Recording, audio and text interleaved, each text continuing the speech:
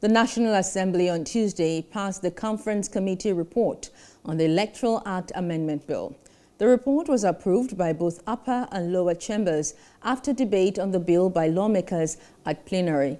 Emmanuel Ehijene completes the report. Recall that most times both chambers pass different versions of the Electoral Act Amendment Bill. This time, it was imperative to set up a harmonization committee to harmonize both versions. At the Senate, it was the leader of the Senate, who is also chairman of the conference committee, Senator Yahya Abdullahi, that laid the ground for the debate. He did so through a motion, and it was unanimously adopted by the senators.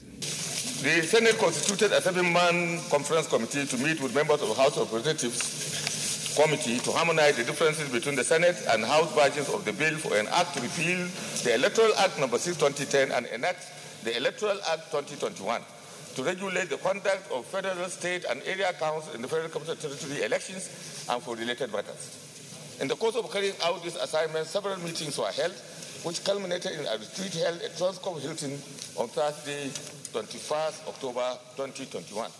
The members of the conference committee have been presented in paragraph 1.1.1. Then I'll put the question on the entire report.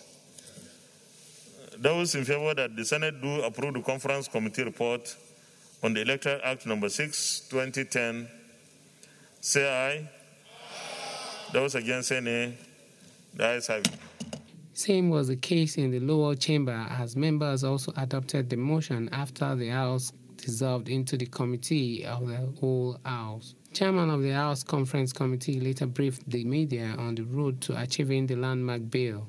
It was applauded and amplified by the spokesman of the House of Representatives, Honorable Benjamin Kalu, at the briefing. I will begin to look at principles of democracy that need to be fine-tuned so as to meet the best practices in other advanced democratic climes one of which is returning power to the people, where this government of the people, by the people, for the people, will be seen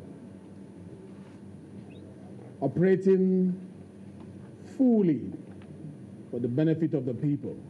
The bill will be transmitted to President Muhammadu Buhari through the clerk of the National Assembly in due course.